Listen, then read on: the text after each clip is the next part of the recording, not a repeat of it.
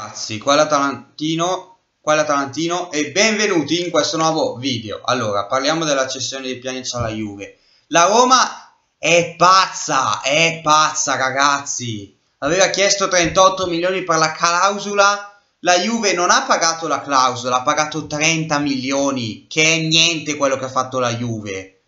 La Juve avrà ringraziato la Roma per quello che ha fatto, perché gli ha regalato un giocatore fortissimo come Pjanic.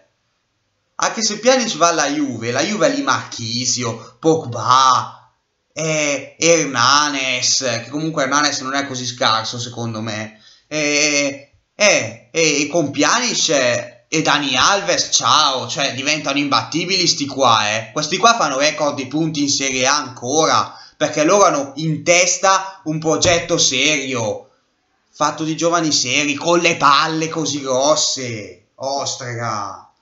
Invece la Roma non ragiona quando cede i suoi giocatori, evidentemente.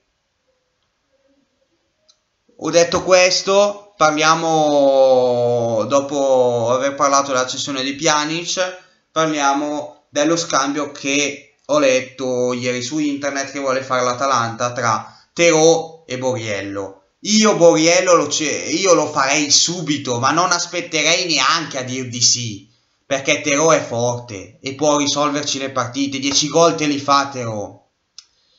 E con Gasperini Terò può veramente tirar fuori le palle, no? Gasperini uno che lui è sempre piaciuto Terò, quindi...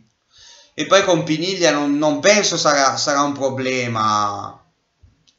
Vabbè, detto questo, questo è un video breve che, dalla quale parlavo su calciomercato e ciao ragazzi.